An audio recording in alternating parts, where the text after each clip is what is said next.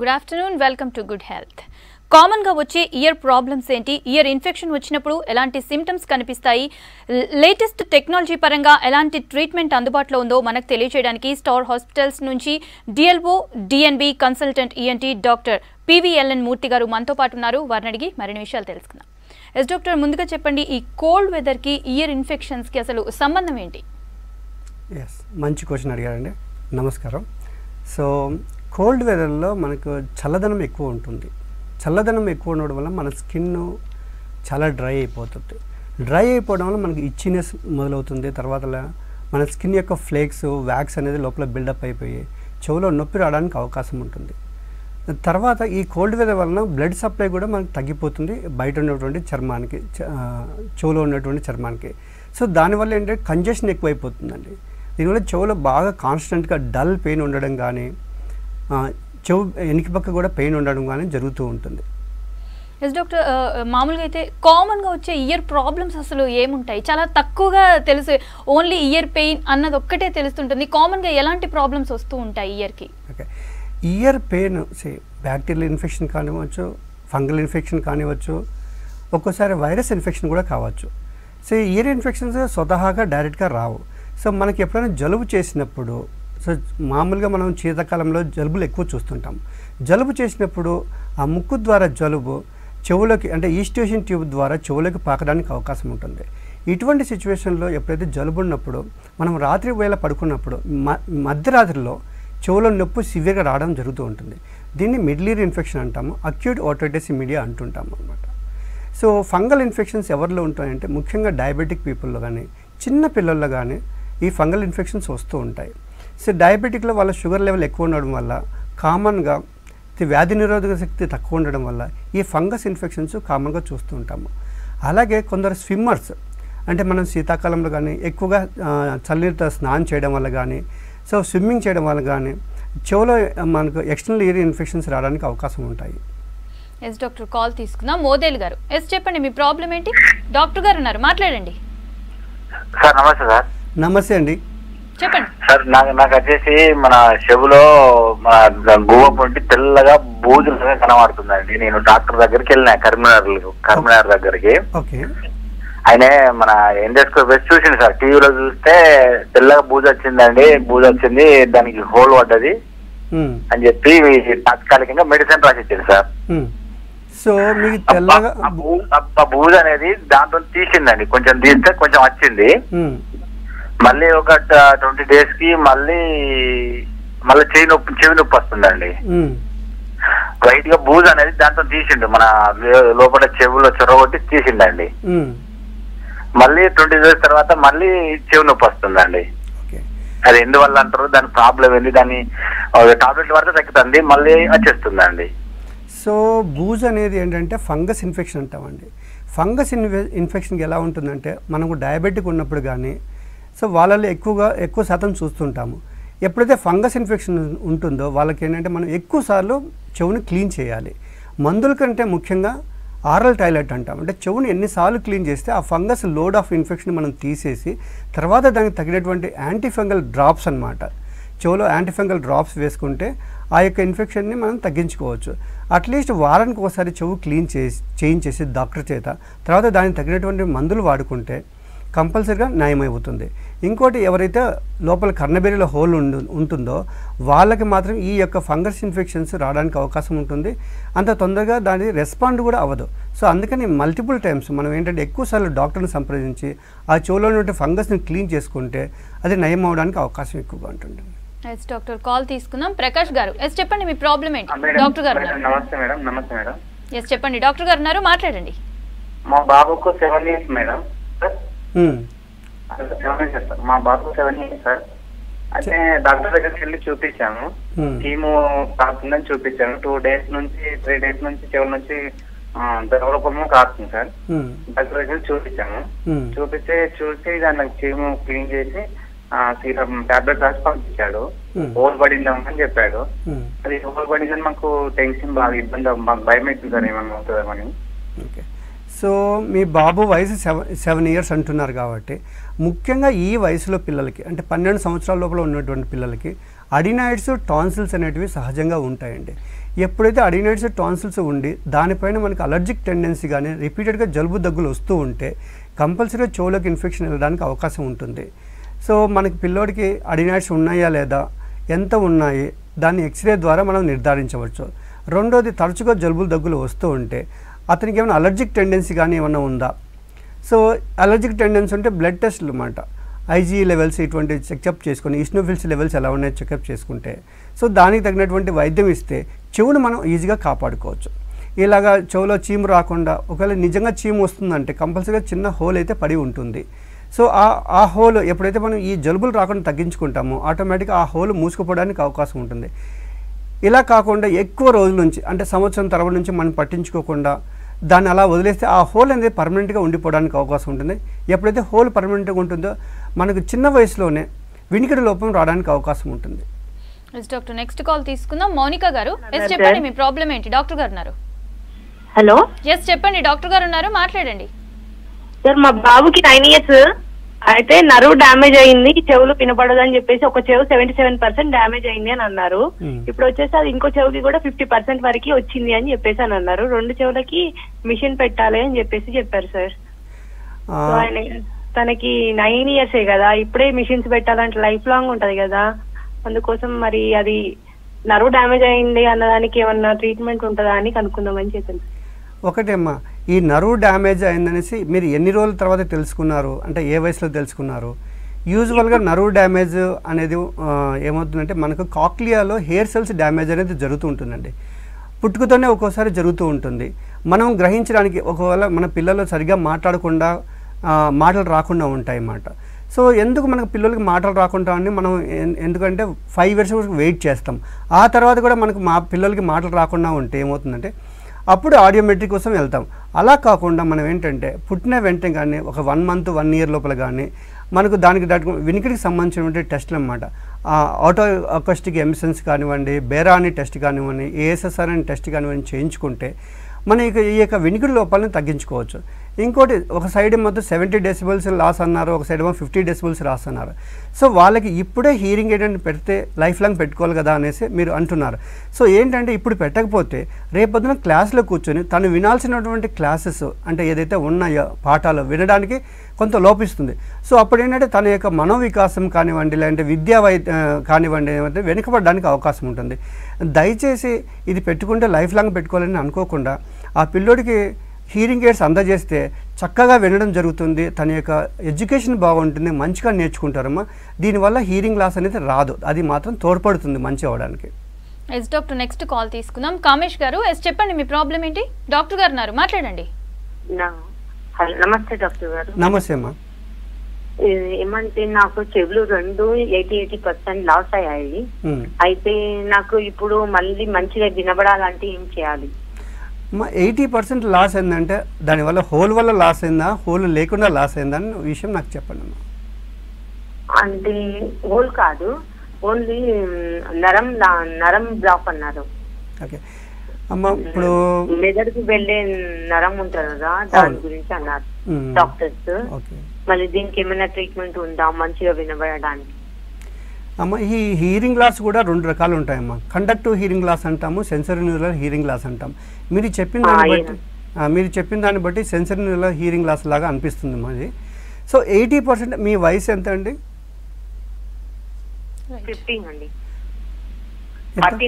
Forty nine so కొందరికి ఏంటంటే తొందర ఏజ్లోనే హీరింగ్ లాస్ నరాల బలహీనత రావడానికి అవకాశం ఉంటుంది. కానీ కొందరు ఓటోస్క్లెరోసిస్ అనే వైద్యం ఒక జబ్బు ఉంటుందమ్మా. ఓటోస్క్లెరోసిస్లో ఏమవుతుందంటే మిడిల్ ఇయర్లో ఆసికల్స్ ఫ్యూజ్ అయి ఉంటాయి దానివల్ల కండక్టివ్ హీరింగ్ లాస్ అనేది ఉంటుంది. ఒకవేళ అటువంటి కండిషన్ ఏదైతే ఉంటే దాన్ని సర్జరీ చేసుకుంటే చక్కగా అంటే స్టెపి స్టెపిడోటమీ చేసుకుంటే మీకు వినిపించడం ఇంప్రూవ్ అవడానికి చాలా అవకాశం ఉంటుందమ్మా. అలా కాకుండా ఓన్లీ ఎస్ఎన్ లాస్ అంటాం. అంటే నరాలకు సంబంధించిన బలహీనత అయితే సో మీకు కొంత తొందరగా ఇది నరాల వీక్నెస్ మొదలైందని అనుకోవచ్చమ్మా. దీనికి మీరు హీరింగ్ ఎయిడ్ అని పెట్టుకుంటే బాగుంటుంది. లేదంటే ఒకసారి డాక్టర్ని మళ్ళీ సంప్ర సంప్రదిస్తే ఇంకా ఎటువంటి ఏమైనా లోపాలు ఉన్నాయా ఏంటి? ఒక్కొక్కసారి బ్రెయిన్లో ఏదైనా ట్యూమర్స్ ఉన్నప్పుడు కూడా మనకి హీరింగ్ లాస్ రావడానికి అవకాశం ఉంటుంది. సో ఎంఆర్ఐ స్కాన్ తగ- తగినటువంటి స్కానింగ్ చేయించుకుంటే మనం ఎందుకు వచ్చిందనే యొక్క రీజన్ మనం కనుక్కోవచ్చమ్మా ఎస్ డాక్టర్ నెక్స్ట్ కాల్ తీసుకుందాం. మహేశ్వరి గారు ఎస్ చెప్పండి మీ ప్రాబ్లం ఏంటి? డాక్టర్ గారు ఉన్నారు. మాట్లాడండి. చెప్పండి చెప్పండి. మేము ఖమ్మం నుండి అండి. ఎస్ చెప్పండి. డాక్టర్ గారు ఉన్నారు మాట్లాడండి. ఆ. హలో? హలో అమ్మా. అది మా అన్నయ్య కొడుకుకి కొంచెం చెవులో కుడిపోయిందండి ఉమ్. అది మొన్న హాస్పిటల్లో చూస్తే కండ పెరిగిందని చెప్పారండి. ఓకే టీవీ వాల్యూమ్ తగ్గించి మాట్లాడండి. మహేశ్వరి గారు. వినిపిస్తుందమ్మా చెప్పండి. అది ఎక్కువ కండ పెరిగిందన్నారు కానీ అది తక్కువ కావట్లేదండి. ఓకే. తక్కువ కావట్లేదు. అన్నం తింటే నొప్పులు వేస్తుంది అంటాడు అరగట్లేదు చెవు పోట్లు వేస్తుందని ఏడుస్తుండండి బాగా. మొన్న సెప్టెంబర్ ఇరవై నాలుగుకి ఇరవై తగిలినాయండి. సెప్టెంబర్ ఇరవై నాలుగుకి అమ్మా ఇరవై ఇరవై సంవత్సరాల? ఇరవై తగిలినాయండి. ఇరవై ఇరవై సంవత్సరం తగిలింది. కానీ బాగా బాధపడుతుండు చెవులు చీన్ కారుతుంది అంటుండు చూపించిన కానీ తక్కువ కావట్లేదు. చెవులో కండ పెరిగిందంటే అమ్మా ముఖ్యంగా ఏమవుతుందంటే చిన్నపిల్లల్లో ఇది ఎప్పటి నుంచో ఉండిండొచ్చు. సో దీన్ని కొలెస్ట్రోమా కూడా అనొచ్చమ్మా కొలెస్ట్రోమా అంటే చిన్నప్పటి నుంచి అది డెవలప్ అయిపోయి ఉంటుంది. లేదంటే చెవులో పుల్లలు పెట్టడం వల్ల తరచుగా పుల్లలు పెట్టి కానీ లేదంటే ఇయర్ బడ్స్ కానీ పెట్టడం కానీ కీ చైన్స్ పెట్టడం కానీ అలా చేస్తుంటారు. వాళ్ళలో కూడా లోపల కండ పెరగడానికి అవకాశం ఉంటుంది. దీనివల్ల లోపల ఉన్నటువంటి ఏదైతే హీరింగ్ మెకానిజం ఉంటుందో దాని అది డ్యామేజ్ అవ్వడానికి అవకాశం ఉంటుంది. సో మామూలుగా మందులు కాకుండా ఒకసారి డాక్టర్ని సంప్రదించి దానికి తగినటువంటి ఇన్వెస్టిగేషన్ చేయించుకునేసి అసలు ఎందుకు వచ్చింది కొండ? ఈ కండ ఎంత దూరం పాకింది? ఇంకా ఏమైనా డ్యామేజ్ చేసిందా లేదా? దీన్ని ఎలా రిపేర్ చేసుకోవాలనే విషయం మనం డాక్టర్ని సంప్రదిస్తే మీకు క్షుణ్ణంగా మీకు అధ్యయనం చేసి మీకు చెప్పడానికి వీలవుతుందమ్మా. ఎస్ డాక్టర్ నెక్స్ట్ కాల్ తీసుకుందాం. నందకుమార్ గారు ఎస్ చెప్పండి మీ ప్రాబ్లం ఏంటి? డాక్టర్ గారు ఉన్నారు. మాట్లాడండి. నమస్కారం సార్. నమస్కారం అండి. నాకు నా పేరు నందకుమార్. నేను sixty three years. Okay sir. Okay. ఇది లెఫ్ట్ చెవు సౌండ్ వస్తుందండి. ఒక మా రైలు బండి లెక్క వస్తుంది. నా టూ థౌజండ్ ఫిఫ్టీన్ నుంచి ప్రాబ్లం నాకు. సార్. టూ థౌజండ్ ఫిఫ్టీన్ నుంచి ప్రాబ్లం ఈఎన్టీలో చూపెడితే ఎంఆర్ఐ స్కానింగ్ తీపిచ్చారు. అయితే అప్పుడు దానివల్ల అయితే లేదు మందులు రాసిచ్చిండు.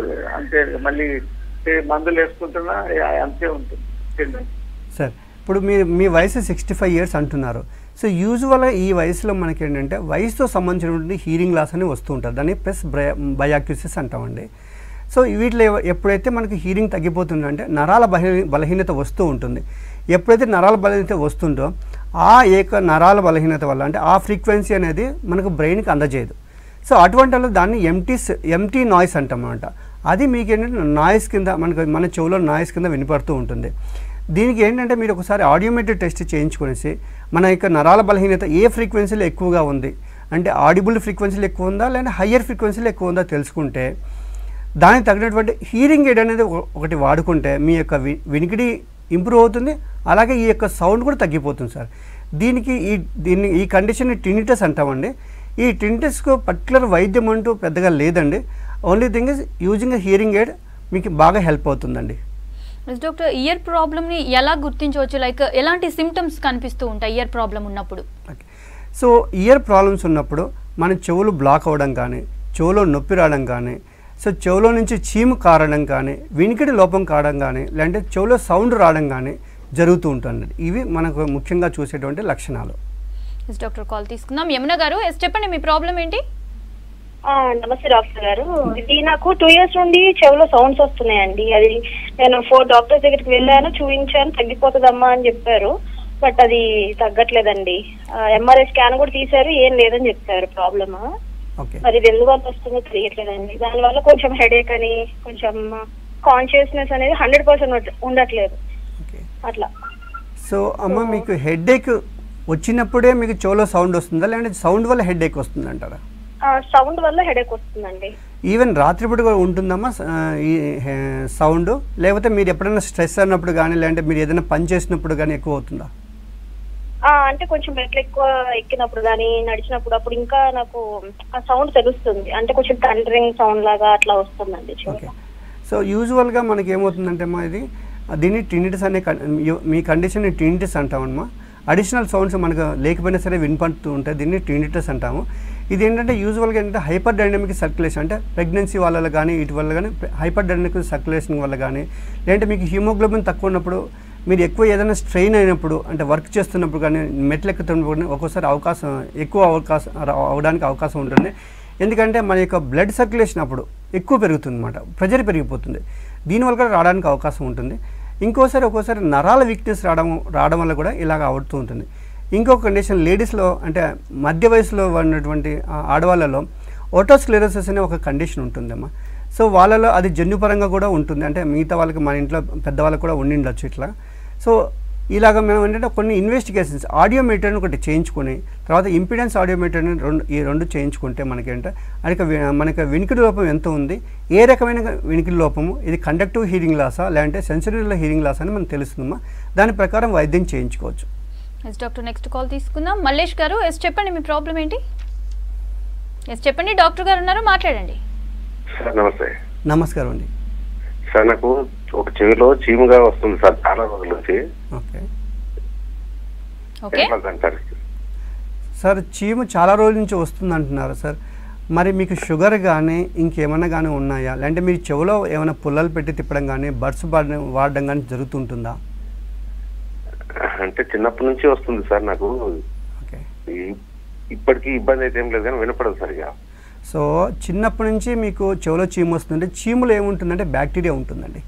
సో ఎప్పుడైతే చిన్నప్పటి నుంచి వస్తుందో అప్పటి నుంచి మీకు బ్యాక్టీరియా అనేది ఏమంటే ఇన్నర్ ఈల్లోకి వెళ్ళి దానిలో ఉన్నటువంటి నరాలు అంటే ఏదైతే మనకు వినికిడి పనికొచ్చేటువంటి సెన్సిటివ్ ఆర్గాన్ ఉంటుందో దాన్ని డ్యామేజ్ చేయడం జరుగుతూ ఉంటుందండి.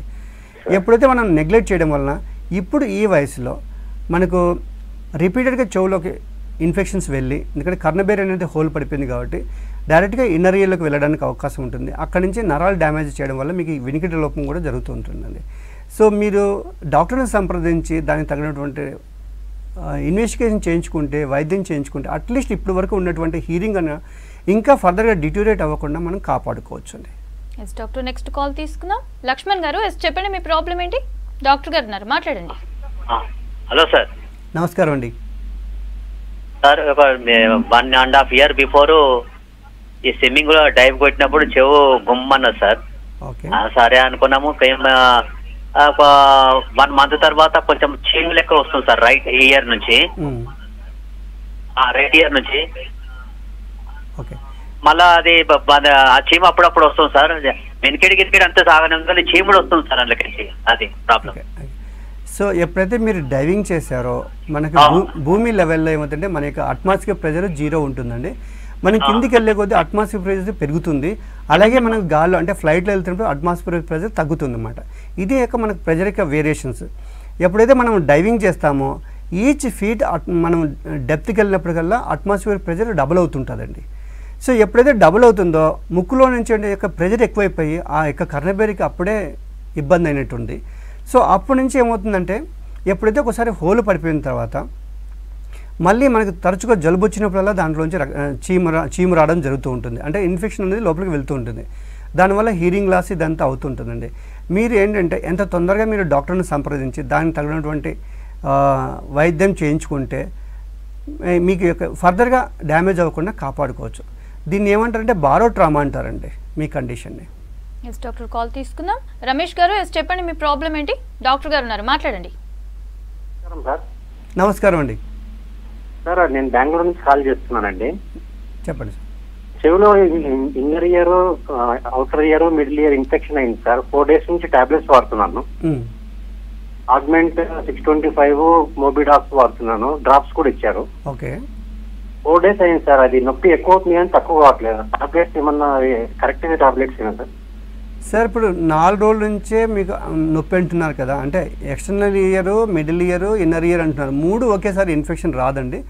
వస్తే first external ear middle ear రావడానికి కాంబినేషన్ రావడానికి అవకాశం ఉంటుంది. నిజంగా ఇన్నర్ ఇయర్ వస్తే మీకు ఇలా ఉండరు సార్. మీకు కళ్ళు తిరగడం కానీ లేదంటే వామిటింగ్స్ రావడం కానీ లేదంటే బాగా సివియర్గా లోపల వినికిడి తగ్గడం కానీ జరుగుతూ ఉంటుంది. ఇది ఇది ఏమంటే అక్యూట్ ఓటైటిస్ మీడియా అంటామండి. మీకు మీకు వచ్చినటువంటి కండిషన్ ఇప్పుడు. వాళ్ళు ఇస్తున్నటువంటి మెడికేషన్ కరెక్ట్గానే ఉన్నాయి. మళ్ళీ వారం రోజుల తర్వాత సార్ని వాళ్ళ మీ డాక్టర్ని సొంత డాక్టర్ని సంప్రదించండి. దానికి తగ్గట్టుగా మందులు వాళ్ళు సజెస్ట్ చేస్తారు sir. Yes doctor long time ఈ ఇయర్ ప్రాబ్లమ్స్ని ఇగ్నోర్ చేయటం వల్ల ఎలాంటి కాన్సిక్వెన్సెస్ ఫేస్ చేసే అవకాశం ఉంటుంది? సో ఇప్పటి వరకు మనకు కాలర్స్ చాలామంది మంచి క్వశ్చన్స్ అడిగారండి. దాంట్లోనే మనకు లాంగ్ టర్మ్ కాన్సిక్వెన్సెస్ ఆల్రెడీ వాళ్ళు పాపం అడిగారు. ఒకటి ఎప్పుడూ మనకి చెవులో చీము కారుతూ ఉండడము లేకపోతే తరచుగా చీము కారుతూ ఉండడము. రెండోదేమో వినికిడి లోపం రావడము. మూడోదేమో చెవులో సౌండ్ రావడము. సో తర్వాత నాలుగోది ఏంటంటే కళ్ళు తిరగడము జరుగుతూ ఉంటుందండి. కళ్ళు తిరగడంలో వామిటింగ్స్ కూడా అవుతుంటాయి. ఇవి మనకు లాంగ్ టర్మ్లో కాన్సిక్వెన్సెస్ వస్తుంటాయి. డాక్టర్ కాల్ తీసుకుందాం. సాత్విక్ గారు ఎస్ చెప్పండి మీ ప్రాబ్లం ఏంటి? డాక్టర్ గారు మాట్లాడండి. Good evening sir good evening అండి. సార్ నాకు ఇంచుమించుగా ఒక ట్వంటీ డేస్ నుంచి లైట్గా ఇంటర్నల్గా పెయిన్ వస్తుంది sir ear left ear okay so earphones పెట్టుకోవడం వల్ల లేకపోతే ఏదో నాకు అంటే డౌట్ చూపించుకుందాం అనుకుంటున్నాను. సో అప్పుడప్పుడు వస్తుంది పెయిన్ ఓకే సో ఈ శీతాకాలంలో ఏమవుతుందంటే మనం అయితే బయటికి వెళ్తే ఒకవేళ బైక్లో కానీ లేదంటే మనం కారు డోర్ దించుకొని మనం డ్రైవింగ్ చేస్తున్నప్పుడు కానీ ఈ చల్లదనం వల్ల ఏమిటంటే మనం చెవులు అనేది కొంచెం నొప్పి వస్తుందండి. అలాగే మీరు అన్నట్టు ఇప్పుడు అందరము లాక్డౌన్ వల్ల వర్క్ ఫ్రమ్ హోమ్ కానివ్వండి స్కూల్ పిల్లలు కూడా కానివ్వండి మనం ఎక్కువగా ఆ హీరింగ్ డివైసెస్ని వాడాల్సింది వస్తుంది మనము చెవులో పెట్టుకునేటువంటి హీరింగ్ డివైసెస్ వాడితే దానివల్ల ప్రెజర్ ఎక్కువగా ఉండడం వల్ల చెవులో కాన్స్టెంట్గా డల్ పెయిన్ అనేది ఉంటుంటుందండి. అలాగే ఒక్కోసారి మనకి చెవులో వ్యాక్స్ ఉంటుంది. ఎప్పుడైతే మనము ఈ హీరింగ్ ఎయిడ్స్ పెట్టుకుంటామో ఆ వ్యాక్స్ మామూలుగా బయటకు వస్తుంది. అలా కాకుండా మనం ఇది పెట్టడం వల్ల వ్యాక్స్ అనేది మనం లోపలికి పుష్ చేస్తున్నాం. అది పుష్ చేయడం వల్ల ఏమవుతుంది? అది కూడా అక్కడ మనకు ఎక్కువ అక్యుమిట్ అయిపోయి దాని నుంచి కూడా మనకు ear pain constant dull pain రావడానికి అవకాశం ఉంటుంది. సో దయచేసి ఈ హీరింగ్ ఫోన్ ఇయర్ ఫోన్స్ కాకుండా పైనటువంటి ఇటువంటి ఫోన్స్ వాడడం వల్ల బెటర్గా ఉంటుంది సార్ ఎస్ డాక్టర్ నార్మల్గా ఇలాంటి ప్రాబ్లం ఉన్నప్పుడు డాక్టర్ని ఎప్పుడు విజిట్ అవ్వాల్సి ఉంటుంది? అండ్ అదేవిధంగా ఈ ఇయర్ ప్రాబ్లమ్ని ఎంత సీరియస్గా తీసుకోవాల్సి ఉంటుంది? సో ఎప్పుడైతే మనకు చెవులో చీము ఒకసారి కానీ రెండోసారి కానీ మందులు వాడినా తగ్గలేదనుకోండి అలాగే మనకి వినికిడి లోపం అనిపిస్తుంది లేదు చెవులో సౌండ్ వస్తుంది కళ్ళు తిరుగుతున్నాయి అలా కాకుండా ఒక్కోసారి మనకు చెవులో ప్రాబ్లం వల్ల ఒకసారి మన మొహం కూడా ఒక సైడ్కి లాగడానికి అవకాశం ఉంటుందమ్మా ఇటువంటి స- లక్షణాలు ఉంటే వెంటనే డాక్టర్ని సంప్రదించండి. ఎస్ ఎస్ డాక్టర్ అయితే ఇయర్ ప్రాబ్లమ్స్కి ఎలా డయాగ్నోస్ చేస్తారు అండ్ అదే విధంగా ఎలాంటి ట్రీట్మెంట్స్ ఇప్పుడు అందుబాటులో ఉన్నాయి? సో ఇప్పుడు ఇయర్ ప్రాబ్లమ్స్ని మనం ఈజీగా డయాగ్నోసిస్ చేసుకోవచ్చు అండి లేటెస్ట్గా అంటే ఓటో ఎండోస్కోప్ అంటాం. అంటే డైరెక్ట్గా మనం ఎండోస్కోప్ని చెవులో పెట్టేసి చూస్తే లోపల ఎటువంటి లోపం ఉంది? కర్ణబేరిలో హోల్ ఉందా? లేదంటే కర్ణబేరి పక్క ఏమైనా ఫ్లూయిడ్ అక్యుములేట్ అయిందా? పస్ అక్యుములేట్ అయిందా? అనేటువంటి చూడొచ్చు. ఆ తర్వాత సిటీ స్కానింగ్ అండి. అది- మనకు అంటే బోన్లో ఎటువంటి ఇన్ఫెక్షన్ ఉందని మనకు తెలుస్తుంది. అలాగే వినికిడికి సంబంధించినటువంటి లోపం ఎటువంటి ఉంది ఆడియోమీటర్ అంటే ప్యూటోన్ ఆడియోమీటర్ అండి ఇంపిడెన్స్ ఆడియోమీటర్ అండి అంటే బెరాని టెస్ట్లు ఈ టెస్ట్లన్నీ చేయించుకుంటే ఇవి లేటెస్ట్గా మనకు అందుబాటులో ఉన్నాయి. సో మనం చిన్న వయసులో అంటే ఎర్లీగా మనం రికగ్నైజ్ చేసేసి దాన్ని ట్రీట్మెంట్ చేసుకుంటే మనం వెనుకల లోపాన్ని సర్దించుకోవచ్చు. ఎస్ డాక్టర్ ఈ ఇయర్ ప్రాబ్లమ్స్ అసలు రాకుండా ఎలాంటి జాగ్రత్తలు తీసుకోవాలి? ఎందుకంటే రకరకాలుగా చేస్తూ ఉంటారు ఇయర్లో ఇప్పుడు మీరు ఇందాక అన్నట్టుగా బర్డ్స్ పెట్టి తిప్పడం ఇలాంటివి చేస్తూ ఉంటారు. ఎలాంటి జాగ్రత్తలు తీసుకోవాలి ముందుగా? సో ముఖ్యంగా ఇయర్ కూడా మనం మన కార్ సర్వీసింగ్ చేసినట్టు కూడా అలాగే మన మన బాడీ కూడా సర్వీసింగ్ చేయించుకోవాలండి. సో ఇయర్కి ఎటువంటి సర్వీసింగ్ అంటే మామూలుగా మనం ఏమనుకుంటామంటే చెవులో ఏదో దుమ్ము కానీ లేదంటే గుమ్మిలు కానీ ఉంటే అందరూ హైడ్రోజన్ పెరాక్సైడ్ వేయడం కానివ్వండి నీళ్ళు పోయడం కానీ జరుగుతూ ఉంటుంది. ప్లీజ్ దయచేసి అటువంటివి మాత్రం చేయకండి. ఎందుకంటే ఒకవేళ మనకి చెవులో హోల్ ఉందనుకోండి హైడ్రోజన్ పెరాక్సైడ్ వేస్తే అది ఇన్నర్ ఇల్లోకి వెళ్ళిపోయేసి దాన్ని డ్యామేజ్ చేస్తుంది.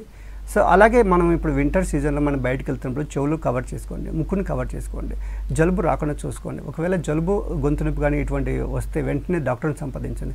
జలుబుకు ముక్కుకు కనెక్షన్ ఉంటుంది. ఎప్పుడైతే జలుబు ఎక్కువ రోజులు తగ్గకుండా ఉంటుందో అటువంటిప్పుడు మాత్రం మళ్ళీ చెవులోకి వెళ్ళడానికి అవకాశం ఉంటుంది.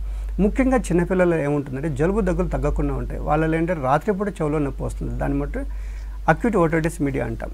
సో వాళ్ళకేంటి అడినైట్స్ టాన్సిల్స్ అనే ప్రాబ్లమ్స్ కూడా ఉంటాయండి. వాటిని జాగ్రత్తగా మనం ట్రీట్ వైద్యం చేసుకుంటే చెవును మనం కాపాడుకోవచ్చు. ఓకే థ్యాంక్ యూ డాక్టర్ ఇది ఇవాల్టి good health state to V six news